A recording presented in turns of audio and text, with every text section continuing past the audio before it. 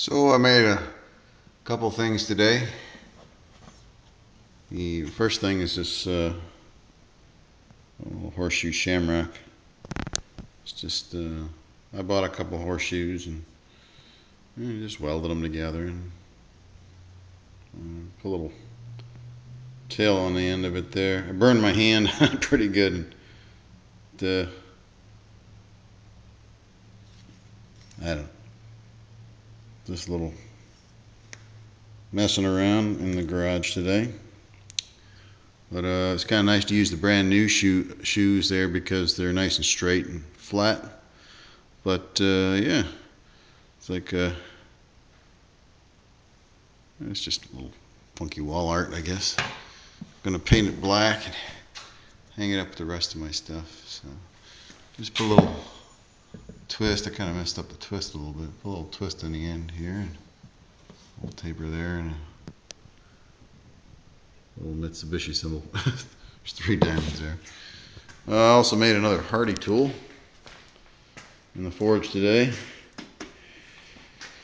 And uh, it's for uh, bending stuff. Uh, you know, you take like a piece of stock and heat it up and put it in there. You know, bend the item, but uh, yeah, you know, uh, didn't have enough metal to make this one inch uh, wide piece, but uh, I had a couple of strips of uh, material and I welded them all together. There was four of them. Welded them all together uh, with the stick welder and then put them in the forge and then beat the crap out of it and then you know, shaped it for the hardy hole.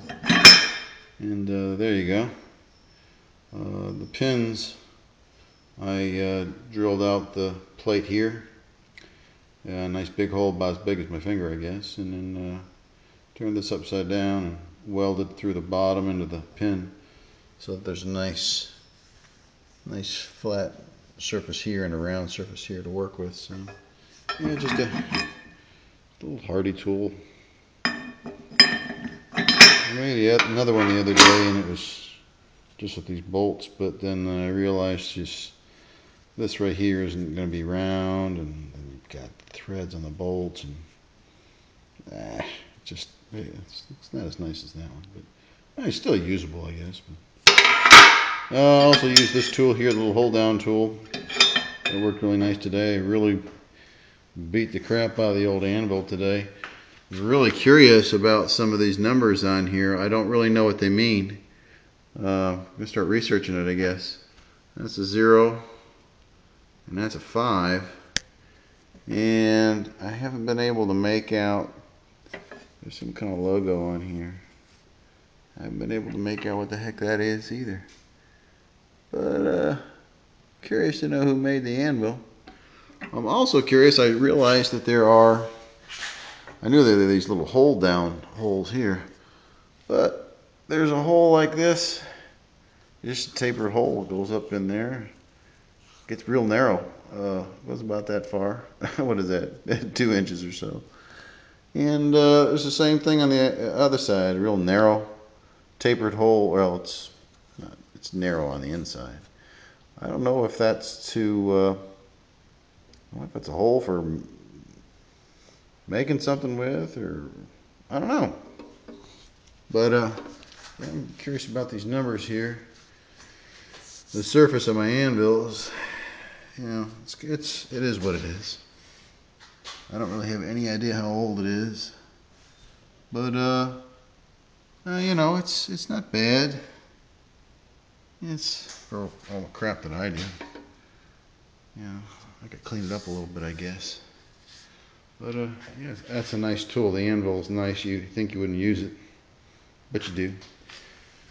Yeah, I got an old railroad tie here too. That's good for beating the crap out of something. Uh, also, you know, it's got a, got a big I-beam basically. You know, you can you could bend stuff around here or here. Or I guess you could use the holes to bend things too if you want. So that's a handy that's handy to have. You know, I've got all kind of crap flying around down there. There's a, I got a box full of ammo crate over there. It's full of uh, oddball shapes and stuff. So Gonna be making some more tools. I'd like to get some some better hammers. Uh, I've been using this big one. I've got this little one here. I think that's for body work. I think. What I got? Another big one here. Uh, again, I got these ones, but I think they're for body work. But I, I still beat on stuff with them. Why not? You know, if it does what you want. I got a couple of ball peens and got this brass hammer here. But uh, mostly, mostly I'm just using uh, these two. And, uh, I use the ball, little ball peens. And I use this one sometimes. So. I'm having a lot of fun. I'm uh, starting to make things here, and uh, I'm really using the forge. I'm still on one bottle of uh, propane.